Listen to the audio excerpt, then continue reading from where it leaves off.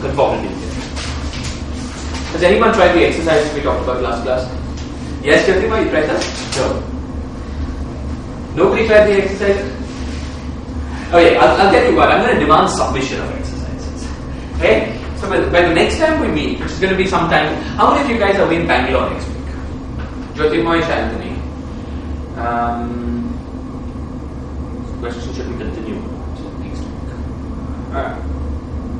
So what, what are your thoughts? If we continued and you looked them up on video, would, uh, would that be okay or would you prefer to wait uh, we? Uh, well, it's half the class roughly. You won't see that answer. Okay, fine. So let's let's say that we'll continue on. Uh, everyone's back at 23rd, right? that 24th. Uh, so what what is that Wednesday? The Wednesday of that week. Sorry. So 15th is a Saturday, 22nd is a Saturday, 25th, 26th. Okay. So, the next class then will be the 26th December. Okay. Oh, okay. So next class.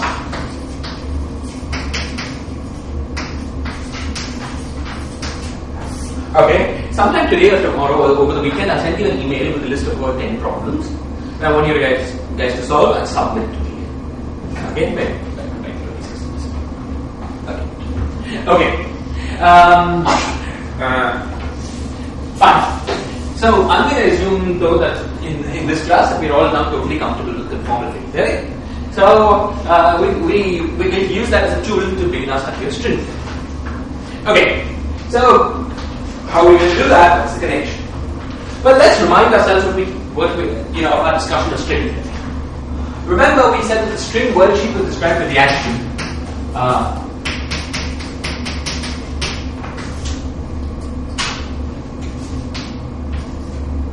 uh,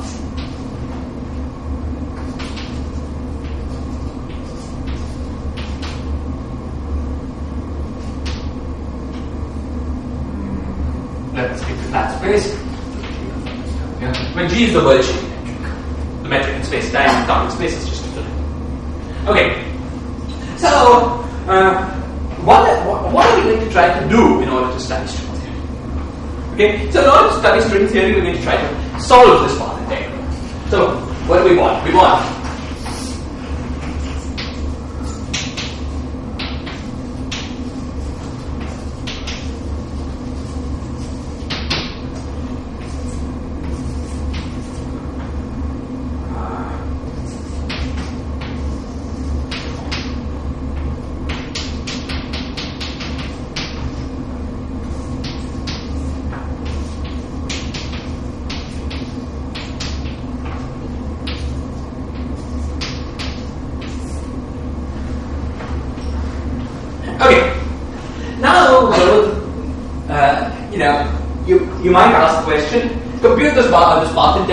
integral are the conditions, for what operating insertions.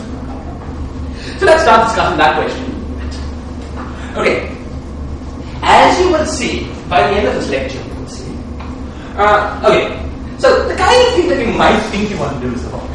What, what do we do in quantum mechanics? Or in, in souped up version of field theory? Uh, we ask questions like the following. Suppose we've got some particles and we constrain the particles, uh, we compute a path integral over all particle world lines with the constraint that these world lines pass through some specified points. This gives us the amplitudes for the particles to propagate. Yeah, this gives us the, the amplitude for the particles to propagate from some set of points to some other set of points. We did this in quantum mechanics, this propagation just happens like this. In quantum field theory, we allow also very some such splittings and joinings of these particle paths. Okay? So the most natural kind of question that you could ask in string theory, you might think, is the analog of this question. So you might think that, uh, uh, uh, well, so from, so let's back up. From the point of view of quantum field theory, all paths that go, um, that are disconnected. So suppose we have two paths like this, you know, paths like this, and then paths like that. These are disconnected Feynman diagrams. And so, uh, uh, if we just compute all connected Feynman diagrams and then exponentiate the answer, that generates sum over all disconnected Feynman Okay? So while often in order to compute something physical, you need to include both connected and disconnected graphs. Um, the, phys- the interesting computational question is how do you connect, compute the connected graphs? Okay, so that's the question we'll we'll look for the analog of the string. Okay, so what what is the uh, what is the kind of question we want to address in string theory? You might think that the natural question is the following. Consider uh, the natural question you might think is to compute the path integral over all world sheets of the string that end on a given set of curves. Okay, if we want to think of this as the amplitude for closed strings begin somewhere and propagate to something else, we make these curves be little circles. So let's think that. So you might think that this is the natural question. We want to integrate over all string world sheets that have the property that they that they pass through some, some given sets of curves, uh, and these, these things are endpoints of the string world sheet. Okay, so such a string world sheet would look like this.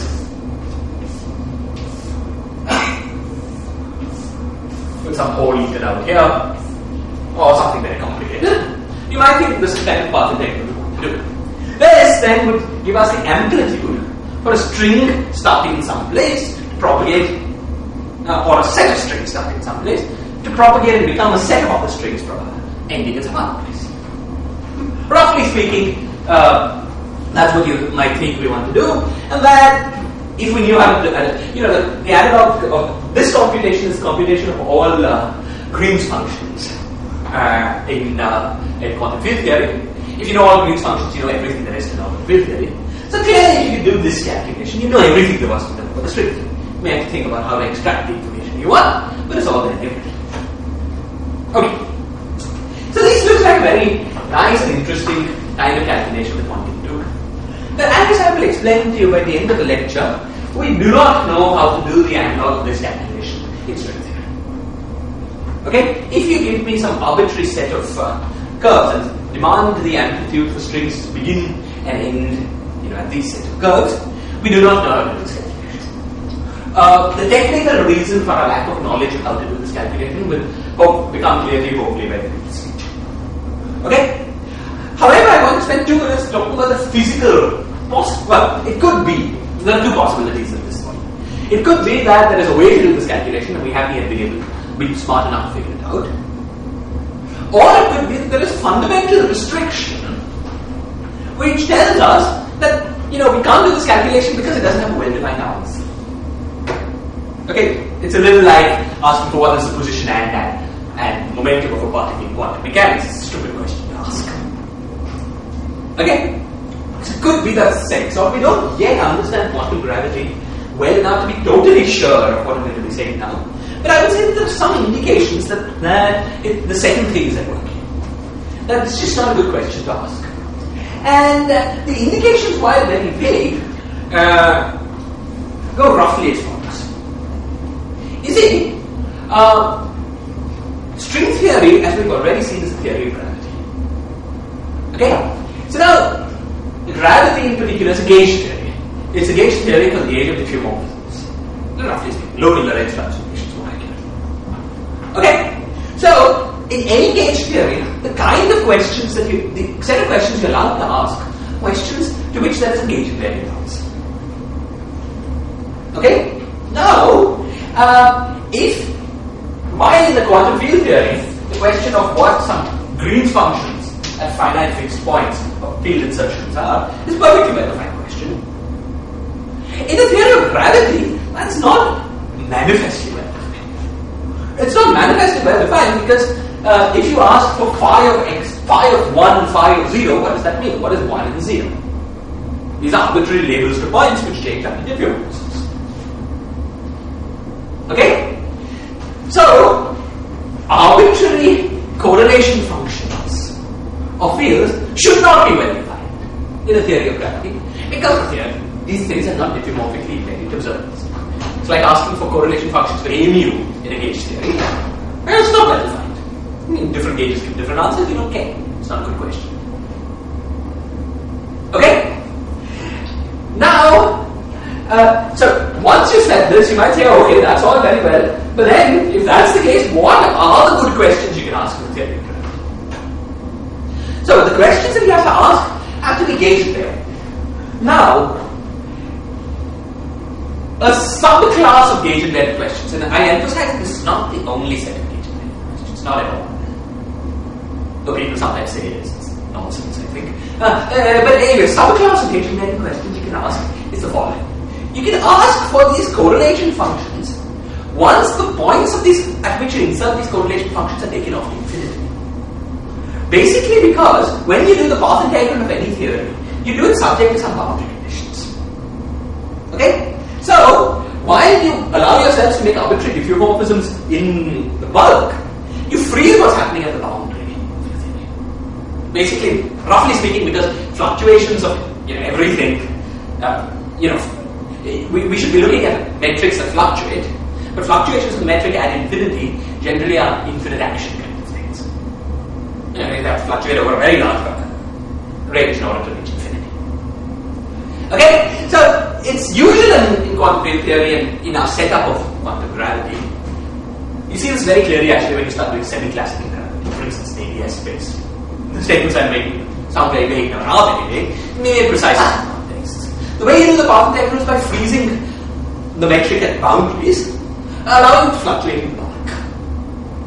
So once you've done that, insertions of things at boundaries are well defined. Nice engagement there because you're not allowing you're, you're not allowing the metric to fluctuate uh, in the boundary.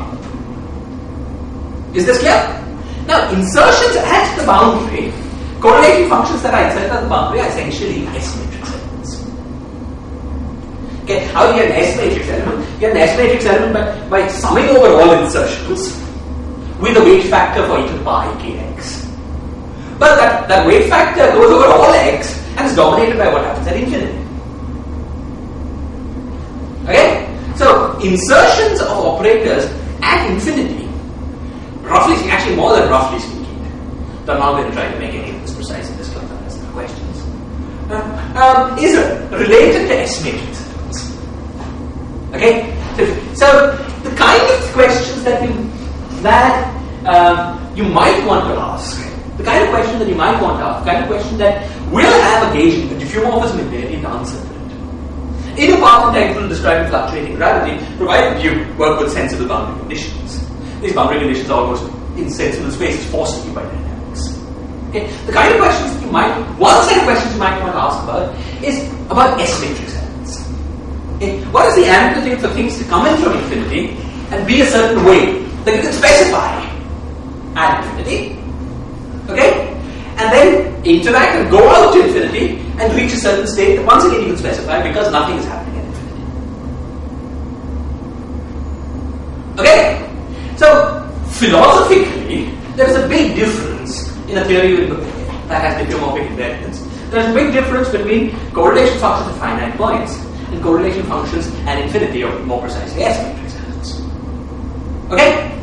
Diffeomorphisms, uh, the latter observables should presumably be well defined. And it's these observables that we. Now, all this is philosophical nonsense, but now the short technical statement that we appreciate by the end of this class is that um, um, technically it's only the analog of the S matrix that we will we have yet understood how to com- com- compute in string theory. So it could be that this philosophical blah blah blah that I told you about, I told you about, is the reason for this technical fact. Uh, you should always be uh, wary of believing philosophy. Could be that we've just not been smart enough. Many things are possible, but there's some reason, some some some some general reason to believe that perhaps it's not just our stupidity that we haven't been able to compute more than S matrix elements because at least most of the other things that we would like to compute are just not well defined. Just bad bad questions, kind of questions you shouldn't ask. Okay? So all of this was just to motivate the fact that instead of asking this question, the question that we're going to ask, okay? The question that we're going to ask is questions about what the same part path integral where these legs extend off to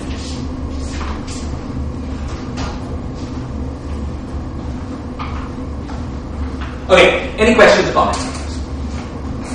Uh, in quantum theory, it is a very question to ask uh, about what happens at finite time. Totally. And uh, if we think that this quantum field theory is going to come out as a, as a definitive theory or a string theory, then uh, where does uh? Yeah, it's a very good question. So, um, so the question is, well, you know, uh, you know, suppose you take Earth theory, a quantum field theory weakly coupled to gravity. In the quantum field theory without gravity, there are calculations that are clearly well defined. Um, and the question is, does coupling gravity make it completely ill-defined, or uh, is there some approximate calculation, something that reduces the other calculation? I don't have a very good answer to this question. Let me tell you one or two thoughts about about it that not everyone I've spoken to with agrees. Um, you know, to say that to say that just the stupidest thing you can do is just asking for correlation functions at fixed points. But well, first, firstly, there's a practical answer to the question, and the practical answer is this. Okay. Um, if gravity is very weakly coupled, then while the manifold fluctuates, its fluctuations about a given classical background are very small. Okay? So the ambiguity about what you mean by phi of 0, phi of 1 is very small for practical purposes in the situation you know. So it could just be that. You're doing a calculation that isn't terribly well defined, but the error is very small. A little like classical mechanics is a good approximation to quantum mechanics. You, know, you can talk about positions and velocities and things in certain situations. Okay? It could be that that's the answer to your question. However, there's more to say about this. Uh, and the more to say about this is that, you know, if you think a little bit, you certainly can create observables that are local, that are more local than S matrices, and that are diffeomorphically invariant. For instance, you could ask for the two-point function between two operators that, that are separated by geodesic distance 1. Now, this is different from saying point 0 and point 1, because it's some average of uh, all directions. But it's a clearly gauge invariant, diffeomorphically invariant question. And has information about how operators behave when they come sort of near each other rather than infinitely away. So, uh, you know, for instance, if you Okay, I mean, uh, what does it mean to say geodesic distance of quantum? I mean, metric will be a quantum field. will be quantum field. So you could put in this, um, you could put in, suppose you had, had two fields, some scalar field coupled together. Right? Suppose you wanted to compute phi of uh, x, phi of y with a delta function. Okay? That uh, um, uh, says, that gives, you, gives the expression for geodesic, given the metric, you can compute the geodesic distance between x and y. Right? So let me call that geodesic distance g of x and y, which is also, also a function of the metric. Okay? Minus a. This is an insertion that I should do, make in the path diagram.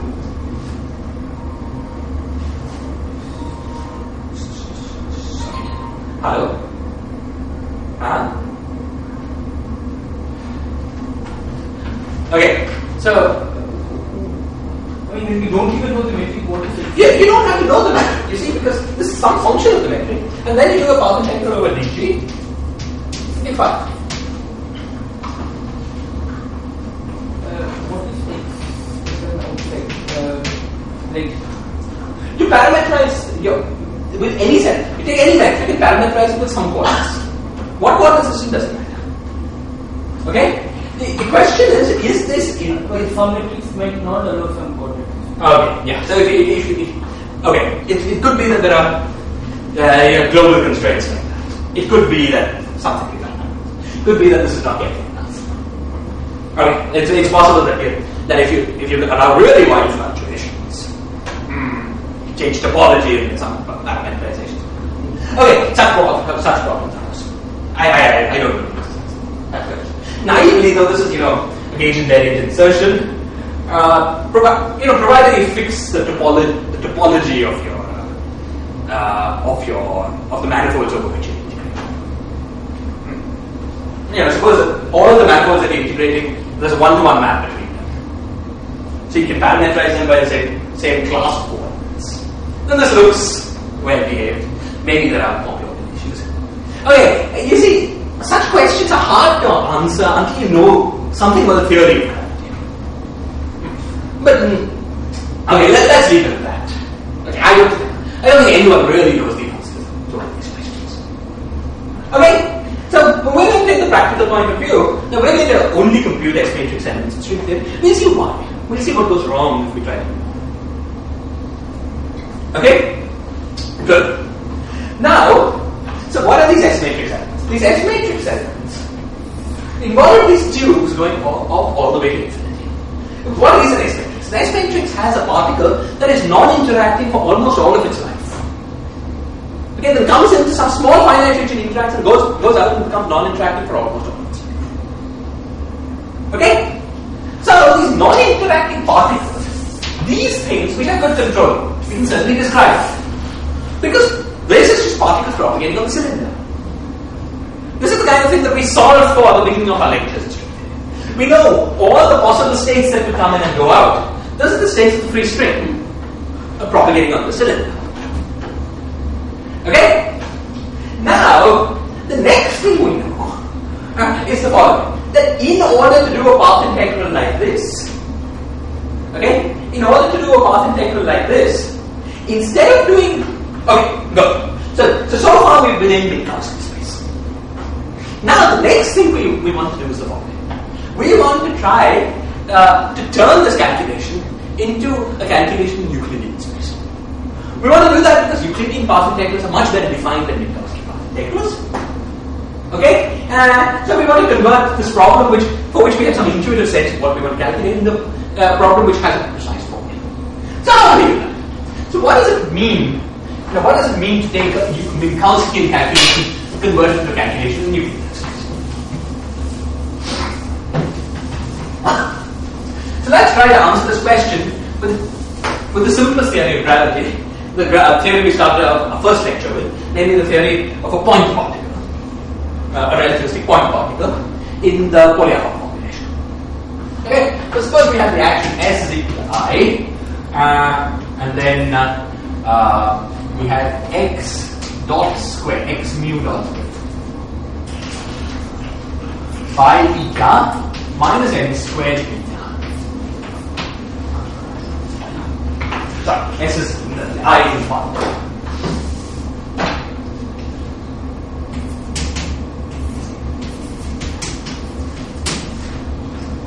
Oh, and we want to do this path integral. Okay. We want to do this path integral subject to some boundary conditions, something like that. Okay. But in the end, the thing that we're doing is a path integral. Now, what is a path path integral is product of several integrals. One integral for eta of x, sorry, eta of t and x of t at each time. So what we've got is product of several integrals. Okay. So, now what I'm now, this, this, these integrals aren't terribly well defined.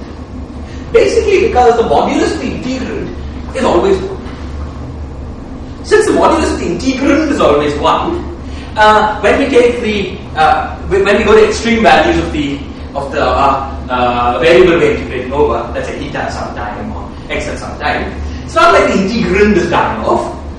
Okay, it oscillates very fast, that's the reason contribution suppressed, but it's not like it's dying off, so it's hard to give meaning to this integral.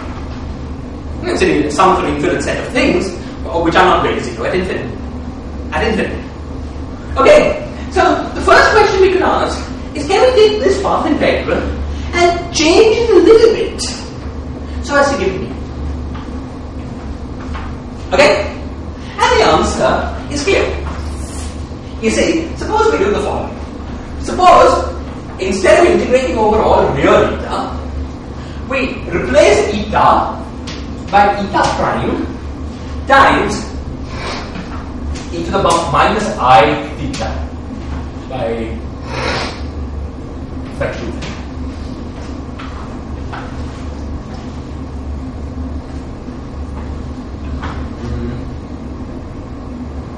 Okay. And integrate over all real values theta prime. Okay? What does that amount to in, in terms of eta? In terms of eta, it uh, amounts to change think of think of the integral over eta at any given time. What I'm saying is that true at any given. Think of the integral of, of eta as an integral on the real axis of the complex plane. Okay? What this amounts to doing is to say that um, um, instead of integrating um, instead of integrating eta like this, I'll integrate it with a certain phase.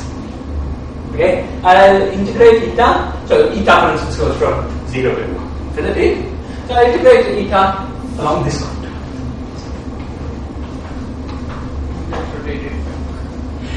You see, at the moment not even talking about rotating back, I'm just I'm theta something infinitesimal. This thing is going to give meaning to my path. So we can think of the path integral as the limit theta goes to zero of uh, of this integral where eta is given by eta prime, which is a real number, times e to the power i theta Okay? Why does this give meaning to this integral? This gives meaning to the integral because uh, now you see that the imaginary part of this thing, that the imaginary part of this thing is always positive. You see, because I've divided by e to power negative i theta by 2 here. So when it goes in the numerator, it's e to the power positive i theta by 2, and you expand that, you get a positive imaginary part, which when hitting this i gives you a negative real part to the, the argument of the exponent in the integral. Okay? Therefore, when eta becomes very large, you know, when you go to extreme values of the of the of the intake uh, of the intake of the t uh, of the variable integration, uh, the integral will be damped, and you can think of this as an ordinary integral. Okay? Um, it, you see, because of this minus sign here, this term also has a positive imaginary part. Because you expand this, we get a minus sign from here, so that cancels the minus sign here. Okay, so we've done it in such a way so that every term in the integral is damped. Okay? So uh, there's one more thing we have to we have to discuss, uh, and that is uh, I've been hiding the fact that there's an extra minus sign here because we've got the x mu dot. Okay, so x mu dot is xi dot squared minus x zero dot. Okay, so if we just did this, this would damp the part of the path integral coming from xi dot squared, but not the part coming from x zero. Okay, so we have to do something else. We also have to rotate the contour of integration by x zero in order to make this. Okay, so what you do is once again what you do is to say x zero uh, is equal to uh, x zero prime times e to the power i theta for instance. Okay? Now you see that the term that was minus x0 dot squared gets weighted by not uh, yeah, sorry, this is minus. The term that was minus x uh, that's, since that's squared we don't need sorry, sorry let me get it. Yeah, this this this will do. The term that was minus x0 dot squared gets a factor of e to the power minus i theta, which is once again a positive imaginary part. Is this clear? It's, well, it's very simple. Let me just write it. Let me look at the term, let me write out all terms in detail. So it's xi dot squared by theta minus x0 dot squared by theta minus m squared theta.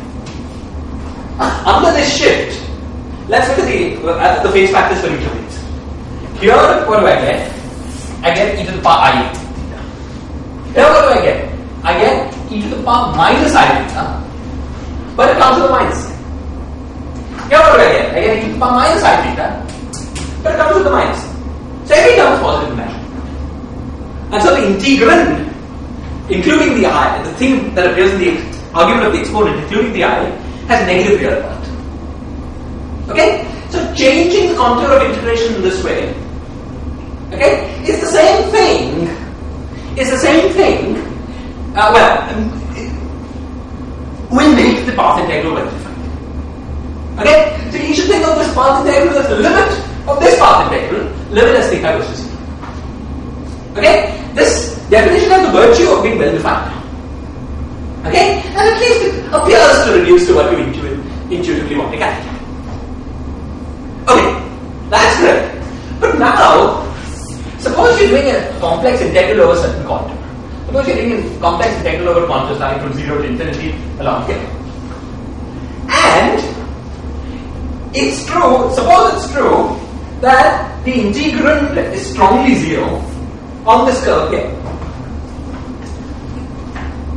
Then, if you deform the contour of integration to this thing, you get the same answer.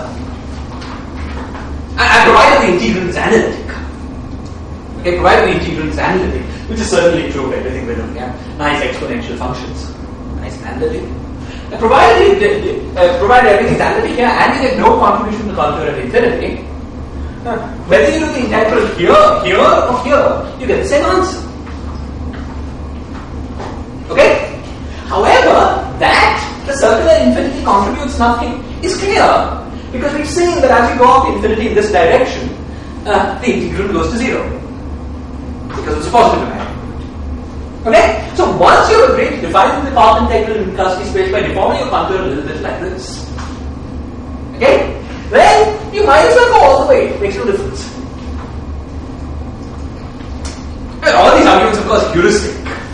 Heuristic because this is not really an integral. But you know, if you regulate your path integral, you have a way of regulating your path integral, reducing it to finite set of eh, integrals and so on, I think these arguments are basically precise. They're just arguments of analyticity in complex analysis, and it's true. All the subtleties will come in taking continuum limits and so on. We forget, to forget about all of that. These, these things look precise. Okay? So, instead of, what is the net conclusion? The net conclusion is that instead of making this mild change of variables, we can make stronger change of variables by replacing this by minus i. Sorry, what was it? I theta minus, sorry. It was minus i? Yeah, okay, great.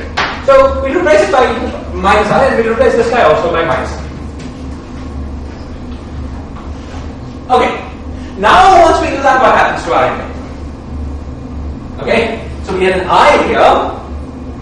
Um, this guy picks up uh, a minus i, so we get a minus.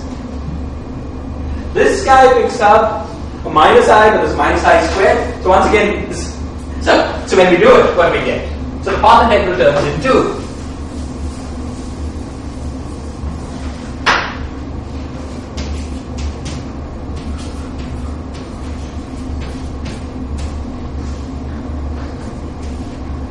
I think it was half, but we forget about that.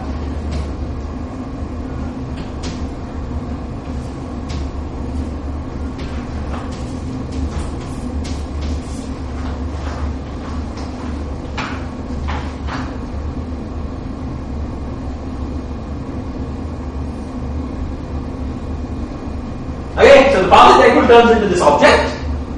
Uh, which, and now the reason for this being better defined is clear, right?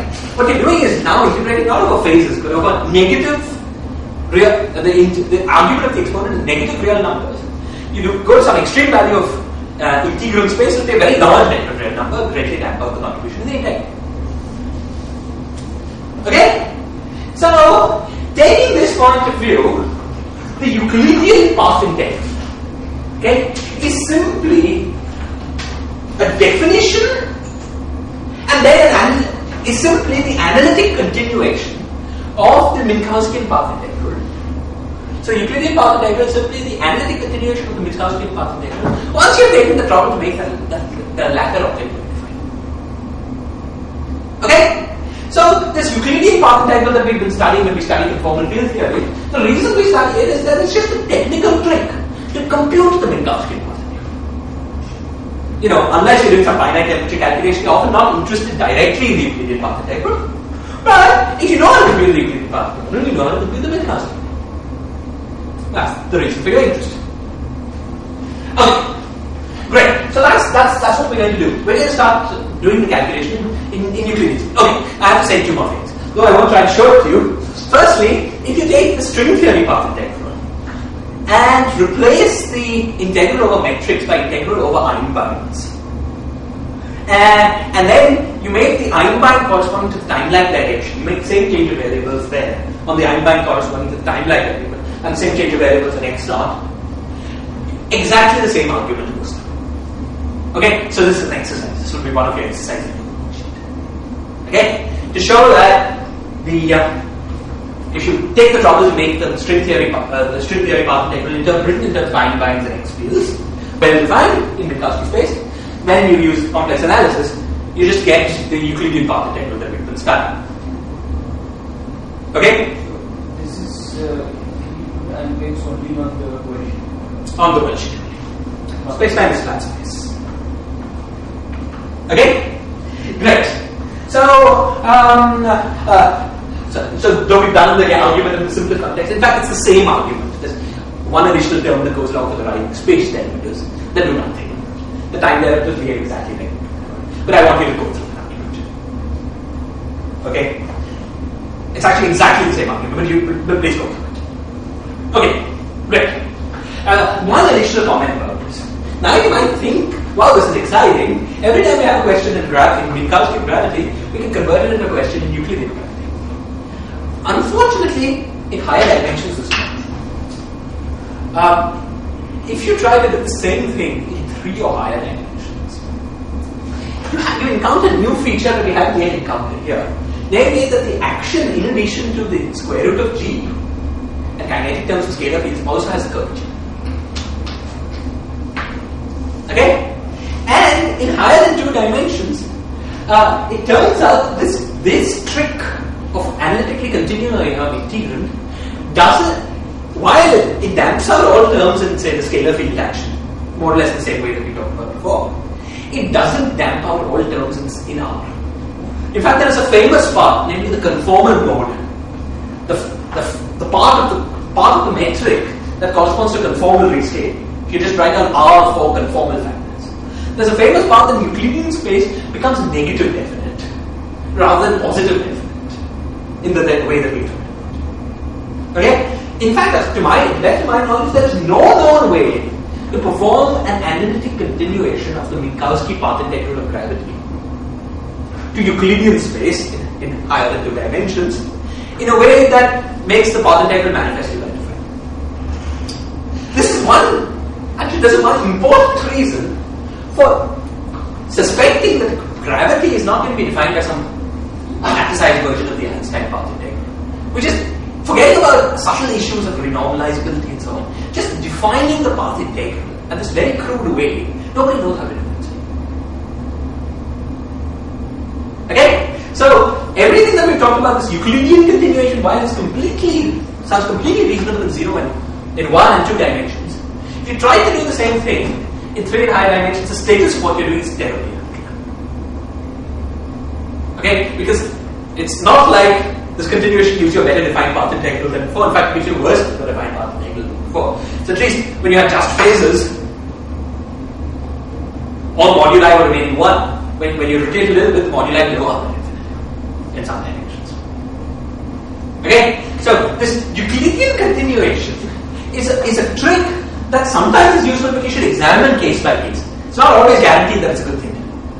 Okay? But in the, pro- in the problem that we're looking at, it is a good thing to do. At least this. Okay? Great. Fine.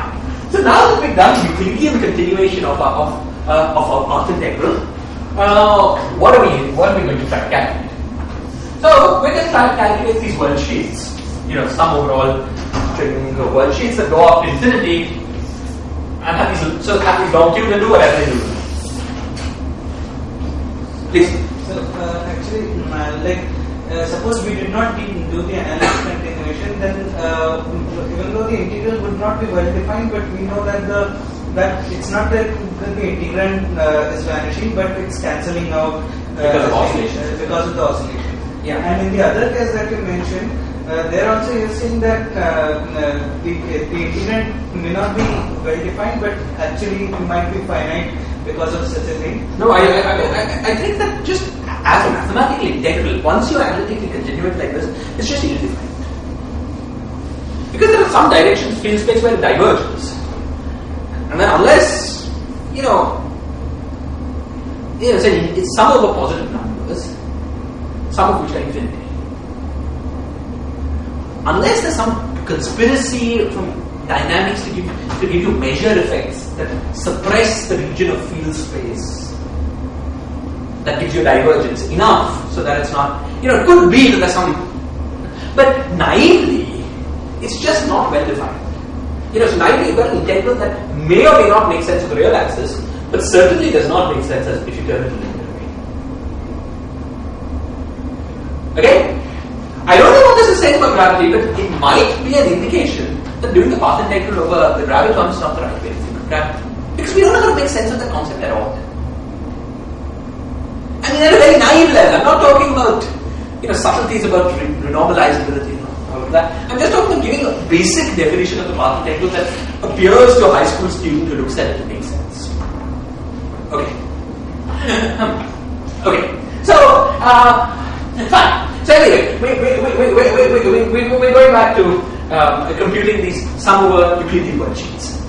Now, in Euclidean space, we've taken a lot of trouble in our study of conformal, uh, uh, conformal field theory to show the equivalence between the following. Between computing a path integral on the cylinder with some specified boundary conditions at minus infinity and computing the same the path, integ- path integral on a disk with the insertion of an operator. The operator being det- determined by being the operator that is dual to the state that define the boundary conditions at minus infinity. So what we want to do is to start scattering with some states. Okay? So we want to set, find, find a cylinder with some state propagating along that cylinder. We want to do this path integral, but that becomes the same as this integral. The path integral with a disk, for a disk, with an operator with, with the corresponding operator inserted. Okay? Therefore, the question about the question about having string worldsheets going all the way to infinity in some particular states has a nicer ma- looking mathematical element. Okay? Now, it says take take the string worldsheet, insert operators dual to the states that you want to scan on this worldsheet. Let this worldsheet do whatever it wants. And in, at the end of the process, what you would have done is end up calculating a scattering amplitude for the states dual to these operators scattering at each other. Is this clear?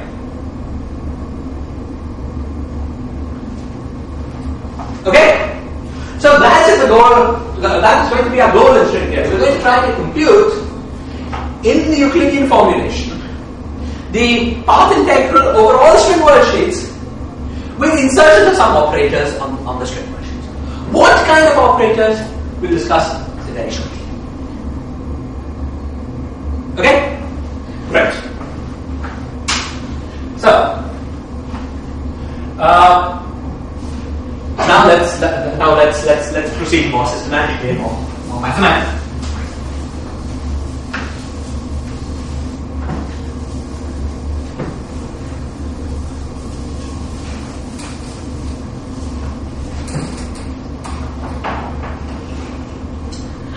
Okay. So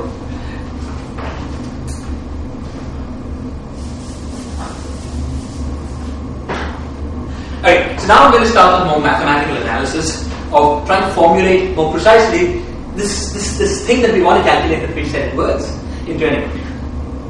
Okay, so what do we want to do? We want to sum over the worldsheet metric. Okay, we want to sum over dx mu.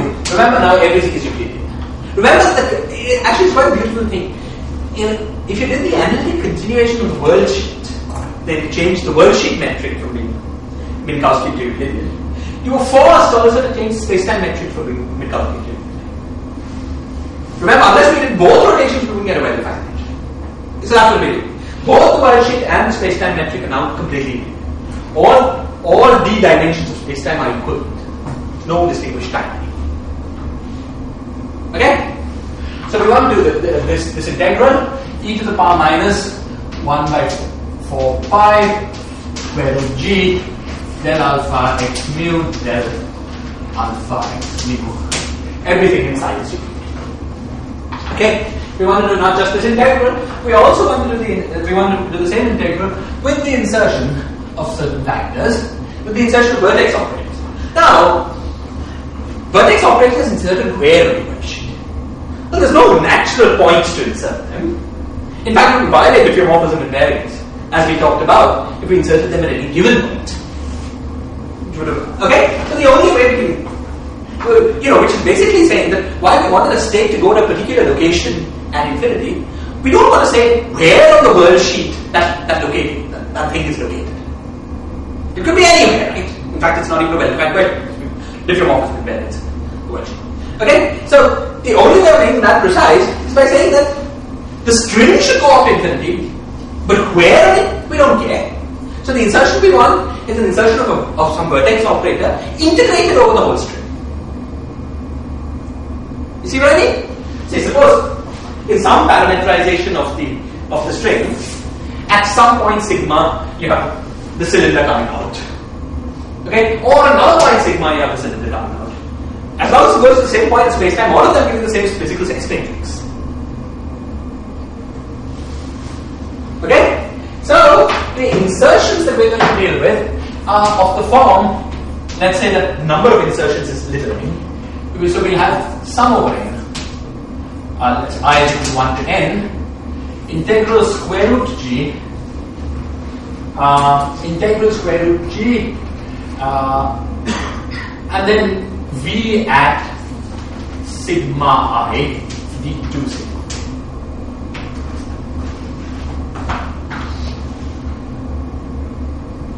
What these what these operator insertions are going to be allowed to be, we'll see more clearly as we go along. At the moment, let's just keep that straight. Okay, so this is a path integral that we're, we're trying to calculate. Um, Yeah, the locus between the sources. it, it, it uh, sources in a field theory, is it?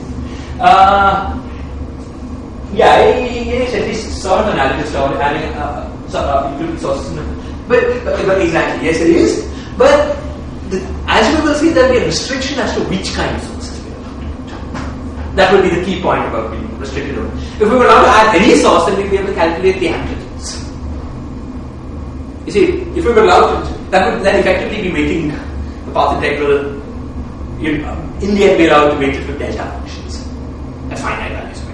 Yeah, so the answer is both yes and no. It's a subset of what you're allowed to do in a quantum field, as we go. So you see when we understand what the restrictions of these, these allowed sources are. And uh, they to alpha prime equal to Ah, I should. Okay. Now, so we want to do this path integral.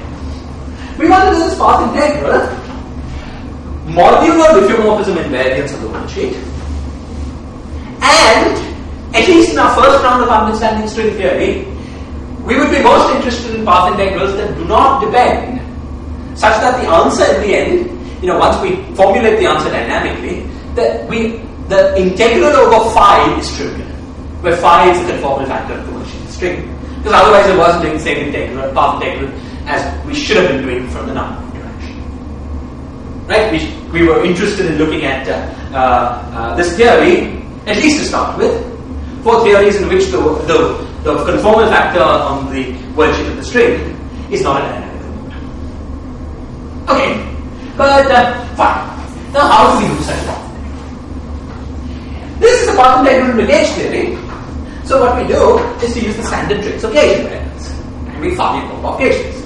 So let's review how to do that in the context of this integral. Okay, so suppose we're working on a certain manifold. As we will see, we will want. Um, maybe I should say this immediately. Okay, uh, well, maybe I should say before. You see, suppose we were doing this calculation on the sphere. Then this would be the analog of this. Like some cylinders going off like this. And if you did this in time sliced it, what do you see? Okay, let me time slice it and let me make the, make the diagram a little.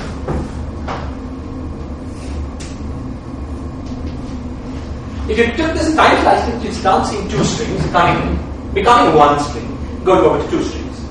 The Feynman diagram analog of this would be On the other hand, suppose we are doing a calculation on the torus.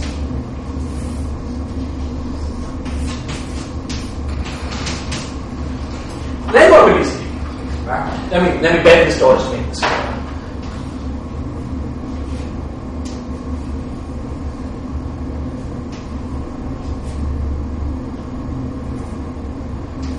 If you know what I mean.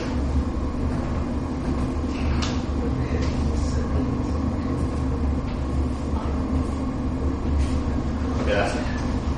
Okay, so when we're doing this calculation here, what we get? You say one string, uh, two strings, going over one, going over two, going over one, going over two. What's the Feynman diagram angle of this process?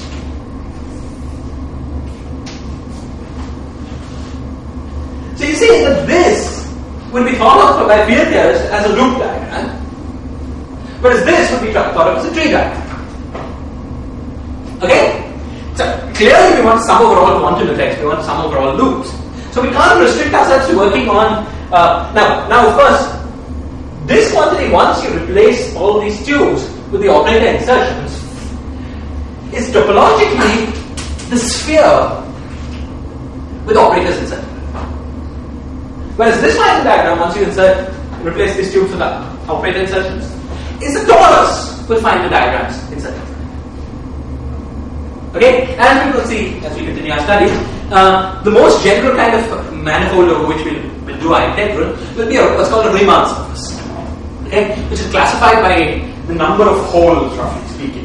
In, we'll, we'll discuss that in detail.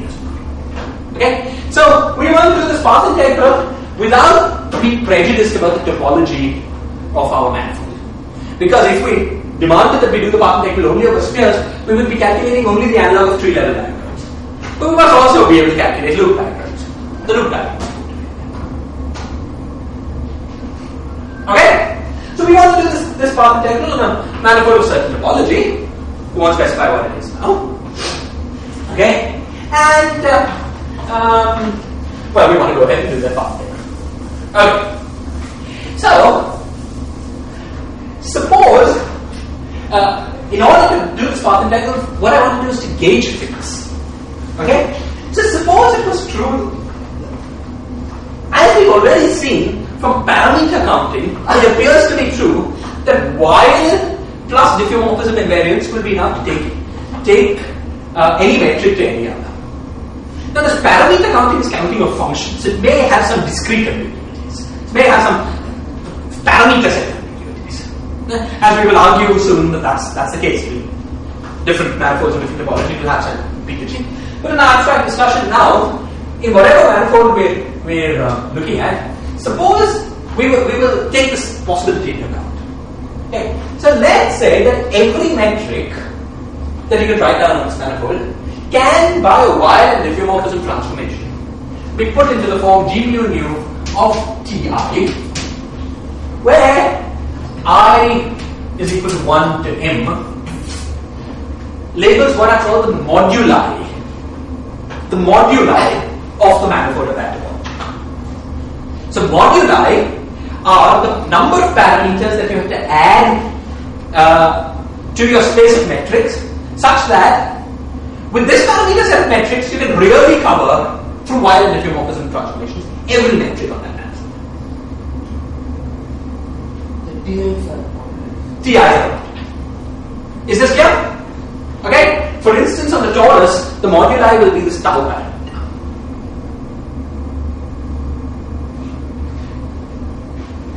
Okay? It, it, it, it, doesn't matter. We'll study all these things in detail. At the moment, all we're saying is that it may be not entirely accurate. That you can take a standard form metric on a particular topology and through violent diffeomorphism transformations get any other metric. It may be that uh, you need a standard class of metrics, parameterized by some number of parameters, let's call them TIs, I run from 1 to n, in order to achieve that. This will turn out to be the case. Let's keep that possibility. Okay. So that's that's the first. Uh, that- okay. Now, uh, there- there's something else that may also happen. and in general will happen. And that something else may, that may also happen is the following. It could be that there are some Weyl and diffeomorphism transformations that acting on a metric don't change it. We've seen examples of this. Somebody give me an example of this? Weyl plus diffeomorphism transformations that when acting on a metric don't change it in flat space. Conformal transformations. Right? Analytic coordinate changes plus the appropriate Weyl transformation gives you back the same metric. Okay? So the, it could be that there are some combinations of Weyl and conformal transformations which acting on the metric give you back the same metric. Okay.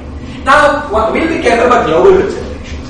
Once we go, you know, most of the analytic, the conformal transformations we talked about blew up at infinity. We will be only looking at things that are well defined everywhere in space. When we do that, as we will see, we'll always get finite numbers. Okay? So let's say that um, moduli, let's call it C. Let's say that J is equal to 1 to C represents the set of what we call conformal killing vectors. Why it's called that, we'll. Okay? It's the number of parameters in the set of Weyl diffeomorphism transformators that do not change a metric. Okay? Okay, what is the importance of uh, what is the importance of um, uh, the number of moduli? Well, the, mod- the moduli tell you what parameters and metrics you have to integrate over in order to be able to relate any metric to this. The number of conformal killing vectors tell you that if you demand that your gauge, you fix gauge by demanding that your metric is put in, in one of these standard forms, then we don't have completely fixed gauge. There will be some gauge redundancy in what you're doing, and the amount of gauge redundancy in what you're doing is the conformity. Is the number of conformity. Because it is those set of gauge transformations, namely Weyl diffeomorphism transformations, which do not change the metric. And therefore, if you put a gauge condition in doing the path, that will say that the metric must take a particular form. It fixes all the Weyl gauge transform, uh, vectors except this one. India. But, but, but why, why are we allowing C? I mean, like, we are talking about a 2D metric, right? Yes. So, I mean, you can't have a dot problem. What do you mean adopt? In in the sense, okay, if you're talking about global conformal transformations, Right. So on the sphere, we'll see that there are six. The, and, and every higher dimension, on the torus there'll be two, and every other higher dimension number will be zero. But we're just thinking of, thinking of a general possibility. We'll, we'll see in detail how many there will be, which dimensions, I mean, what manifold and so on. We'll see all that. So we're just trying to set up a general formulation, not making any assumption about how many conformal vectors there are, or how many get. Okay? So let's say the number of conformal vectors, whatever it is, is Okay. Now, uh, uh, actually, let, let me call it 2C. So that would be a slightly more convenient. Everything will be holomorphic and then- G alpha. Thank you. Thank you. Okay. So we now want to set up. We want now want to find a, set up, you know, calculation that will make this path integral well defined. So we use the standard Faddeev-Popov trick. What is the standard Faddeev-Popov trick? The standard Faddeev-Popov trick involves inserting identity into. Okay. So how do we do that? Well, here's the problem. We say, well, suppose I take a delta function. Okay, suppose I take a delta function and I look at a standard set of metrics, okay, parameterized by TIs, then Weyl transformed, and then diffeomorphism transformed, labeled by some abstract diffeomorphism. And I subtract the metric at hand. The, the, the metric that enters the path integral. Let's call that just G. Suppose I take this and I integrate over. And suppose I take this and I integrate over all over all over all ti over all phi and over all omega. Okay, then because I've been as, I've been as careful as I as I have, I'm in, I, I, it's guaranteed it's guaranteed that this integral will click exactly once for every metric. Actually, we haven't been that careful. There's sometimes discrete ambiguities, not not continuous ambiguities, discrete. We, we will be a little more careful in a couple of pages. But up to some discrete ambiguities, uh, which we haven't taken account, we could take that into account with some summations. But, but wouldn't that be, I mean, wouldn't that be a generalization of just the uh, integral module? Yeah, you would have to include this, this TI and then some sums, or some modding out by some sums. so. We, we, we'll talk. Some of the TIs to be this. No, uh, what is that instead of an integral, you may need to look at Yeah, I mean, the range of some of the exactly, exactly, exactly. Okay, uh, we'll deal with such possibilities. Okay, so because of the way we've been so careful, we guarantee that this thing will click exactly once metric. Okay, because it's the delta function, you might think this integral was, was 1, but that's not right. Because the delta function, if integrated, is 1 only when the argument appears as the argument of the. Okay. Otherwise, you have the Jacobian factor. You know, what I'm is the delta of f of, f of x integrated over x uh, is not 1, but it's 1 over f prime of 0. Right? So what? So this is not going to be exactly not going to be 1, but it's going to be something non-zero. And uh, whatever that thing that stops it from being 1 is we just by hand define, you know, def- so this answer wherever it is some function of the metric g. And we define what's called the Faddeev-Popov determinant by choosing that function of the metric g such that uh, that integral is 1. Okay? Uh, this thing depends only on g, so it can be taken outside the integral. The integral is an integral over t, phi, and omega, doesn't depend on g. Okay, let me make uh, so delta f p inverse is equal to integral dt d phi d omega uh, g uh, delta of this physics. This is our definition of the function.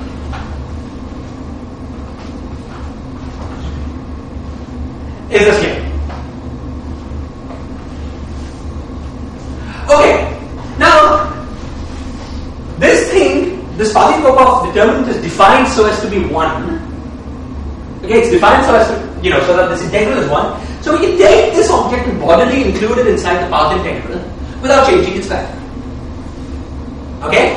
However, as we've seen, this is uh, this will allow us, as you know, to to fix most of our derivatives because well, as, as we see that, I see a little more detail soon. But because of the conformal taking vectors, will not allow us to fix all our gauge derivatives. Because there's some gauge invariances which this condition doesn't fix. So we want to do better. So we will also insert into the path integral. We will also insert into the path integral two C two-dimensional delta functions. Sorry, C two-dimensional delta functions. And the, the way we do that is to choose C of these vertex operator insertions. Okay? And to put a delta function for the position of the insertion of C of these vertex operator insertions. Okay? So we will use the remaining coordinate freedom, remaining Weyl and diffeomorphism invariance, to set the positions of insertions of C of the vertex operators to be C specified points that we choose. But we may not have. Then, then, in which case the path integral will not be well We'll come such possibilities. Let us assume we have at least. If we don't, we can't. But, but it will turn out that we just can't calculate such things, and there's always a good physical reason. out to the case except for the torus where there's way out. Okay, let's get to that question. Okay, uh, let's assume that at least what makes of You see, uh, actually, basically, this question, C is 6. But C, the define it, is 3 on the sphere, and is 1 on the torus. Now, the torus has a special way, there's a special exit route to saying, which we'll discuss in a bit. But, uh, but if we forget about the torus, which is an exceptional case, the only place where you have these conformal Killing vectors is the sphere. The answer there is 3.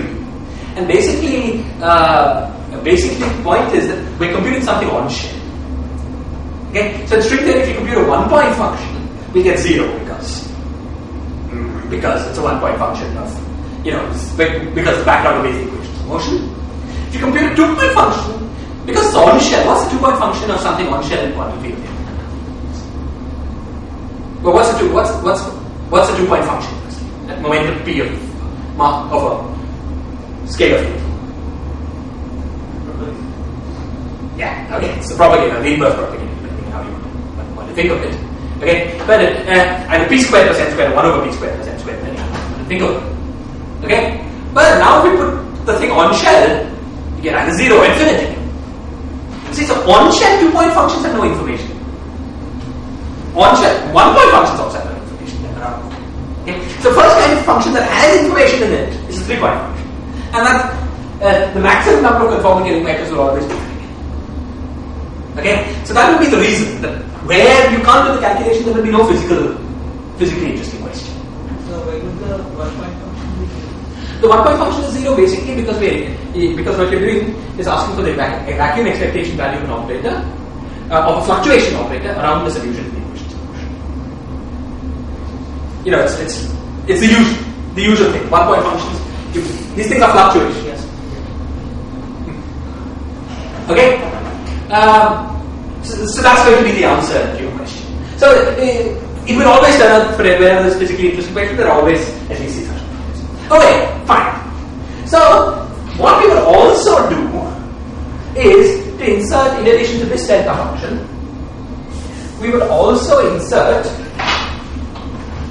delta of sigma product i is equal to 1 to c, sigma i diffeomorphism transformed minus ai. But ai is some, some chosen numbers. You choose it to be zero, one of them to be zero, the other to be one. Some, some chosen numbers. Okay? And, and whatever factor comes out of that is also included in the delta. Yes, yes. So then this delta fp is a function not just of g, but also of the.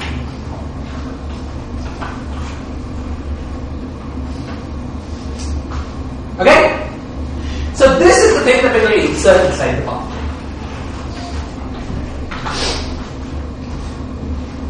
Okay, this will be.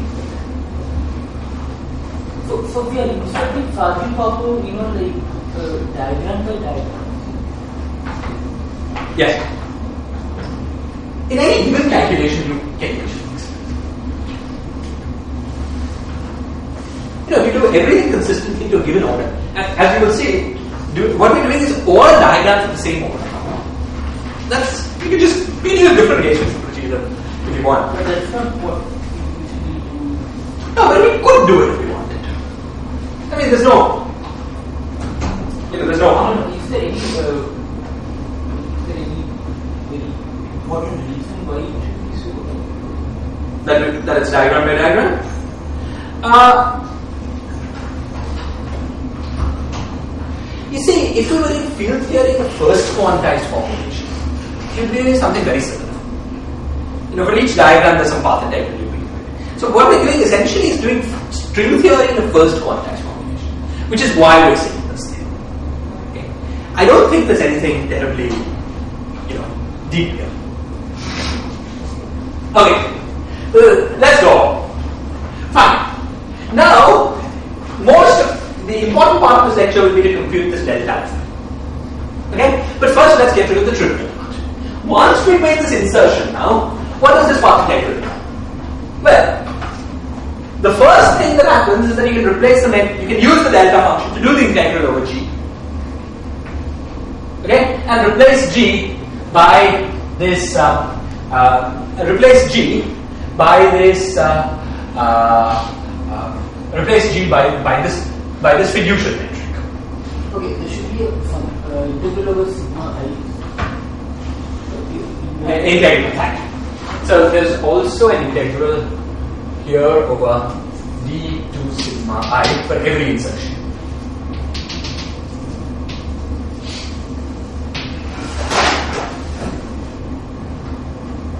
No, no, wait. What, it's up there.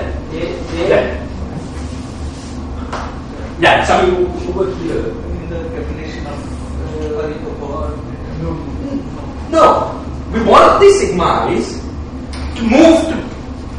We want to use our diffeomorphisms to move sigmas to point areas. Okay. Sigma is some given number, and we want to move it to be point two.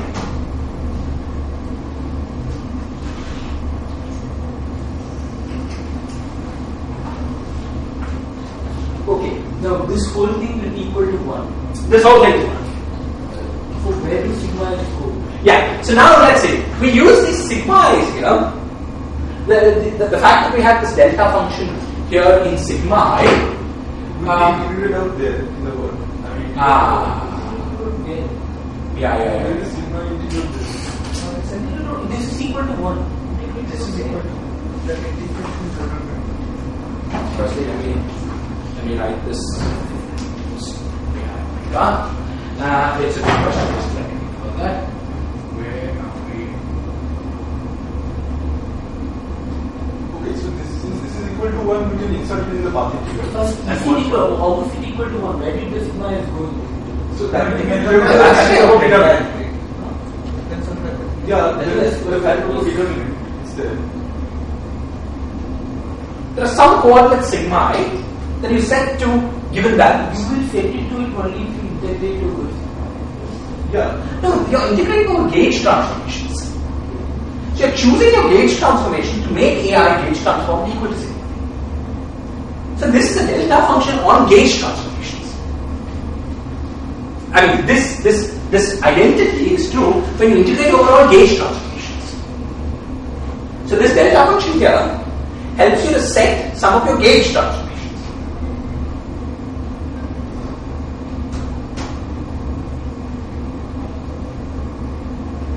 Okay, uh, maybe it looks like the everything except delta is is a function of sigma because it is not a double derivation.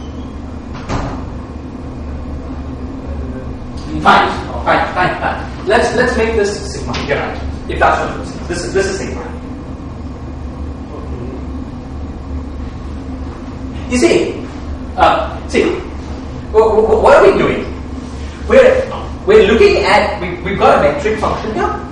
We've got some fiducial metric, and then we'll choose diffeomorphisms to set that fiducial metric equal to set that fiducial metric equal to R. R. That uses up most of the diffeomorphisms. There are some diffeomorphisms unfixed there. We'll use these unfixed diffeomorphisms to choose some specific points sigma i, okay, and make them particular values. The answer clearly, as you say, depends on sigma. I mean, this delta LP depends on sigma, just like it depends on, on the metric. Uh, yeah, uh, yeah. uh, Okay, so on omega is acting on AI. Uh, omega acting on AI just like it acted on this, the fiducial metric.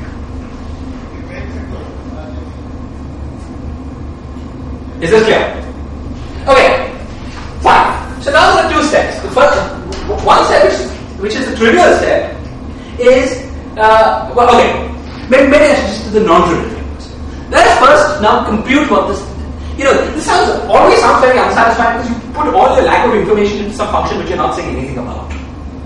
Okay, so let's first, before we start using this, let's compute that. Let's compute delta fp of uh, of GDS. Okay? How do we do that?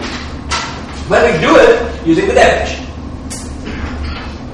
So let's take clear this.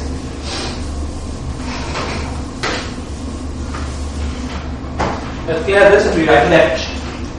The definition was that 1 over delta fp of g and sigma i is equal to integral dt d phi d phi d omega of delta of uh, g hat t e to the power 2 phi gauge transform minus g. The product i is equal to 1 to c delta of del this is two dimensional sigma i minus a.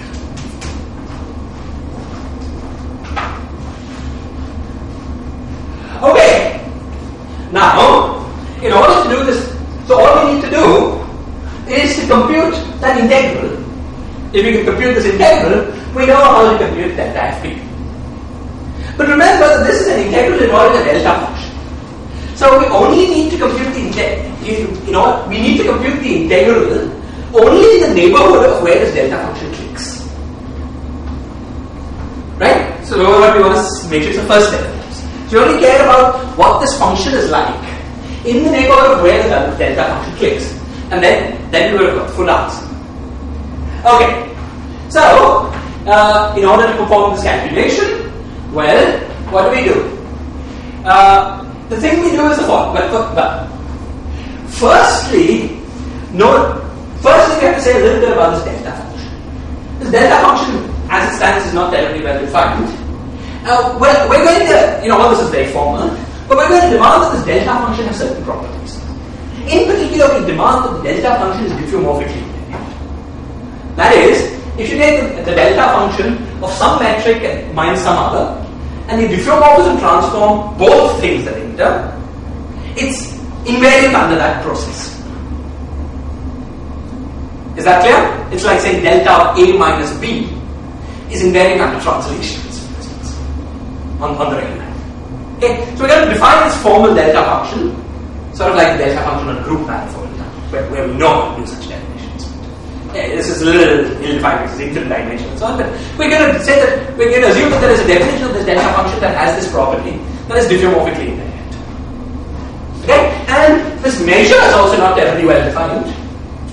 What is the integral of all diffeomorphisms? But whatever the definition is, we're going to we're going to uh, demand that it be diffeomorphically invariant. That is, you take a diffeomorphism, you take you define a new new diffeomorphism, a new diffeomorphism variable as your old one compounded with a fixed diffeomorphism. Then this variable change has unit geometry. Why should such a function? I mean, okay, you, I can understand if, if you wanted the both of them together to be diffeomorphism. That delta uh, gives a particular factor and then you have and delta No, no. Okay, so why, why should see? On, had we been working with finite B groups, such delta functions do exist, and such measures do exist. There is a Haar measure, and there exist Haar, you know, Haar compatible delta functions. Okay. Now, what we're doing is thinking of the diffeomorphism as the limit of some finite. Okay. So in that sense, it sounds reasonable that maybe it exists. Now, this is the kind of question that will make a mathematician tell us that everything we're doing makes no sense. You know, how do you know that? Okay, uh, we're going to work with this heuristic. Okay, if you like, what you can do is regard the end result of what we get as the starting definition. Because what we're going to end up with in, in the end is some manifestly well-defined integral, which we know how to compute, and then we can check. So that would be one point of view. However, that's very unsatisfying point of view because uh, you know where it comes from. This is the kind of thing that motivates us. So it's, it's good to, to see it, even though it's completely clear, it's completely right. We're not working at any level of, uh, of uh, any number of the things we say we say might be wrong. This is always true when you deal with these path integral manipulations of this sort. You know, you could ask the same question for gauge theories, for instance. It's very similar kind of kind of issues that arise there. And now, for gauge theories, if you know how to regulate the theory, like, like a lattice gauge then you can make all the arguments that you use there, you can make them really precise. We don't have such regulators here in any theory if you're walking very speculative. So it could be that everything we're saying. So uh, this is the reason. Why, this is kind of reason why, for instance, Polchinski will call what we're saying now the heuristic derivation. You think of it as thing that sort of makes sense, but maybe wrong mathematically, eh, it's just to motivate the end result. Okay? I don't think I'll ever answer such a question. You'd have to really study in great detail the space of all the diffeomorphisms and try to define an edge function there. So I doubt anyone's done it. Maybe some it. But we're going to make this assumption motivated once again by the fact that for finite groups, what we're saying is true. You know, Haar measures, beautiful measure, has all the properties. You know, uh, we're going to have to stop in two minutes. Uh, okay, let's let's let's. Um, it's particularly bad point to stop since we're taking a two-week break now. We're not at the one. Okay, let me just try and go on for two minutes. Let's see. Okay, so now what? Okay. Uh, you see, because of the uh, you see that the two these two properties, the gauge invariance of the delta function and the gauge invariance of the measure, allow you to prove a simple but important fact about the Faddeev-Popov determinant. Namely, that this function, whatever it is, is a gauge invariant function of gn sigma. Okay? That is, if you compute this for some value of g of sigma, right? and you compute it for another value, set of another value of c of c, uh, uh, g and sigma, right? which are related to the other value by uh, uh, diffeomorphisms, then you get the same answer. Okay? How, how do you do that? You see, suppose suppose you had g1, which was g2 omega. Let's say omega some given gauge, gauge. Okay? Then, by the property of gauge invariance of the delta function, this is the same as this delta function with uh, with G, uh, G2 omega naught replaced by G2, and this gauge transformation replaced by omega minus omega, omega omega naught inverse. And then, by the invariance of the measure, you can change integration from omega to omega omega naught inverse. So now we change the variables, which gives you back the same, which give you, gives you back the same integral. There's no Jacobian because of the invariance of, of, of the measure. And so you've got an expression that, uh, that, that is the Faddeev-Popov determinant of, of G1 or G2. Okay? So we've taken the Faddeev-Popov determinant of a metric and proved that it's equal to the Faddeev-Popov determinant of a metric and a coordinate, of course, that is related to it by a transformation. Is this clear? So first property of this Faddeev-Popov determinant, it's a gauge invariant function of its arguments. Okay, since it's a gauge invariant function of its argument, we might as well compute it for the values of its arguments. Okay? At the values of its arguments where the delta function clicks. We know that there always is a gauge transformation such that the delta function clicks. Okay? So some so so so that is at when sigma i's are equal to ai's, and this metric here is equal to a metric of this form without the omega. Okay? Good. So that's where we do this calculation. Now, so so this thing is something of this form without the omega. Now, remember that in order to compute this, this, this integral here, we only need to know how this delta function, the argument of this delta function behaves in the neighborhood of omega equals identity. Because at omega equals the identity the diffeomorphism, the delta function is kicked. Okay? And, and, and uh, let's say that there's some, uh, um, at that point we've got some e to the power phi naught times, times uh, g of t naught. And so, so this this metric is gauge equivalent, this diffeomorphism is equivalent to e to the power phi naught of g hat of t naught. Okay, so we only need to compute this thing in the ne- for diffeomorphism in the neighborhood identity, and let's take this phi to be equal to phi naught plus some delta phi, and t to be t naught plus delta t. Okay, so we need to know how the argument of this, this delta function changes in the neighbor uh, to first order in delta p, delta phi, and infinitesimal diffeomorphisms. Okay? If we know that, we can compute the integral of. Is this clear? Okay, so now, knowing that is very simple.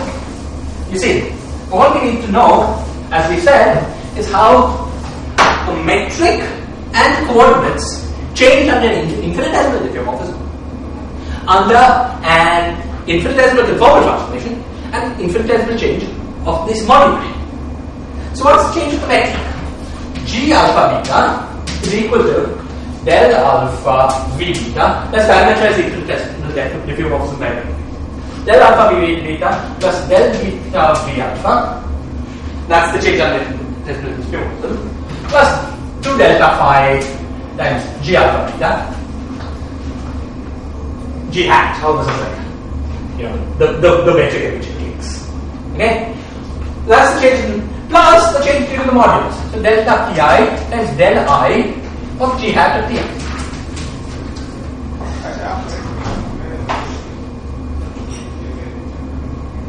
That's the infinitesimal change to metric. What about the infinitesimal change to coordinate? Delta x of sigma i is equal to what? Well, the vector field parameterized into diffeomorphism tells you how much sigma i changes. Right? So it's simply v.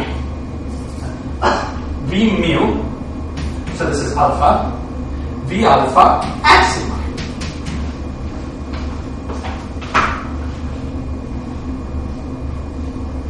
Okay? So, in order to compute delta fp, we can replace this minus this by these expressions. And then do integral. Okay? So, 1 over delta fp is equal to integral d, d, uh, d delta pi d delta phi d delta v, uh, we call it v, v, v alpha, dv alpha times delta of this stuff times delta of this stuff.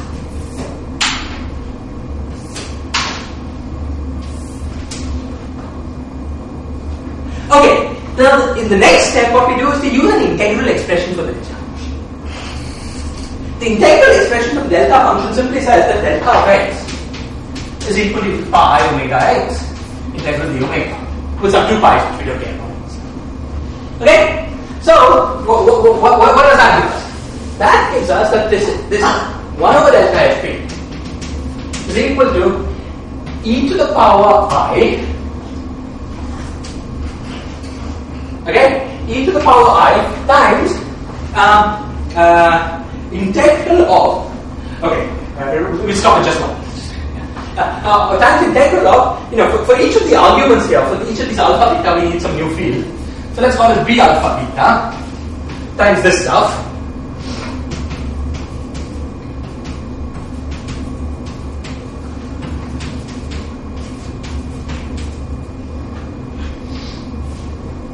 Uh, plus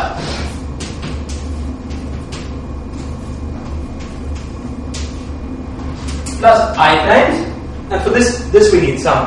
Let's call it uh, I know, z alpha, v alpha, sigma.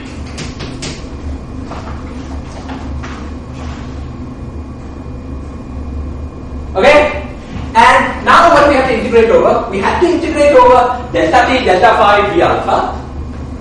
In addition, we have to integrate over these other multipliers, beta and z. So the integral here is over d delta t, d delta phi, d v alpha, d beta alpha beta, and dz.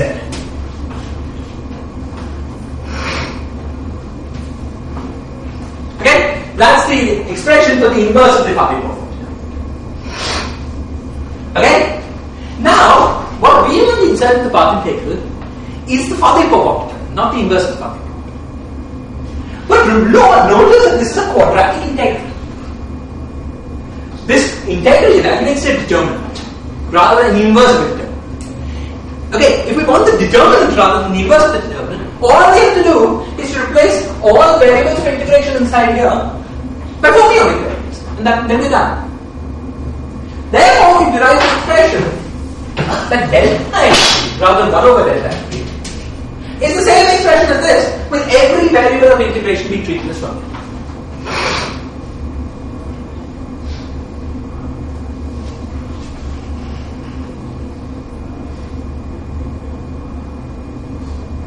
You see?